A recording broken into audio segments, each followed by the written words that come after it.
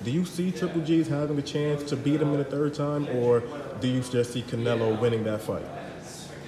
Um, I think is uh, uh, now this situation is uh, Triple G is uh, have very uh, very big uh, м, uh, очень большую возможность opportunity. He have a good opportunity. Yeah, very big now opportunity because uh, because now is uh, uh, Canelo lose lost.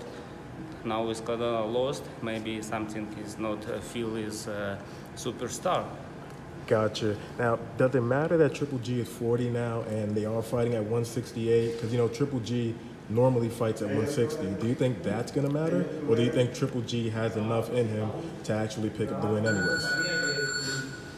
Mm, I think is um, mm, 168 is uh, Golovkin is um, I think is is better You think he'll be Yeah, better at yeah, 168? yeah, Why is yeah. that exactly? because he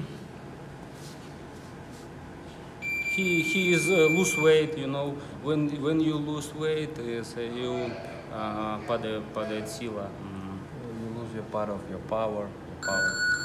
When you lose weight, your power is little bit uh, a little a little bit down.